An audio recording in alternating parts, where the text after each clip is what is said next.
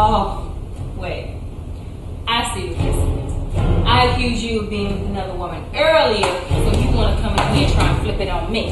Are you sleeping with him, Camille? No, no, I'm not sleeping with him. I mean, he asked me, but I said no.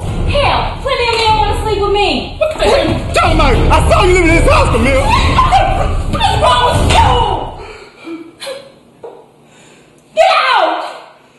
Get out of this house and you get yourself together! So Robert Earl, where you guys sing after the show? Uh, Well, if it isn't Robert Earl Chestnut. Oh, I'm sorry. Did I bump you, little girl?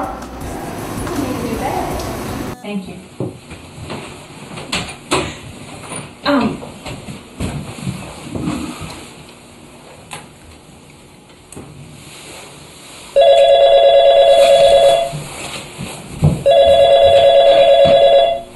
Lisa, hey, what's up? Yeah. Okay, Patrice was right. It's just wrong outcome. I'll have to tell you about it later, okay? Have someone in my office. I'll call you back. Okay, bye. you are so damn sexy to me.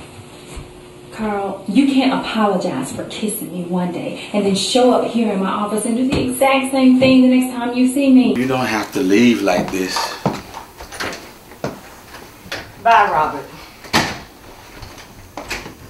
What's wrong with her? I know men have flaws. It's okay. Only a real woman can handle that. Can't you tell how I long to be with you?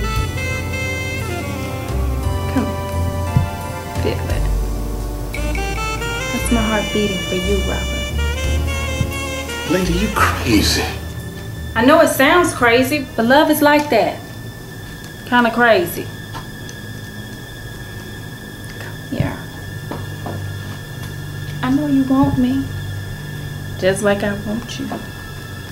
I see you looking at me when I come to Newport News. Newport News. Mm-hmm. It's been about a year ago. Mm. I think you should pray before we start this game, okay? Why do you want to pray, Bishop? You scared the Lord gonna let us see some of your skeletons doing the Holy Ghost in your closet?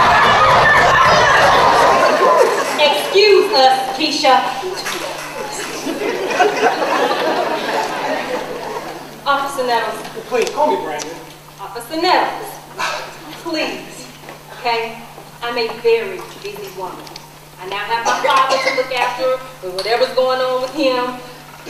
A brother who works roughly 10 odd jobs to put out the fact that, you know, our mother has passed away. And a sister who's in college and I'm trying to get to graduate before she turns 40. I do not have time for some cop who, when he's not making house calls, obviously has too much time on his hands.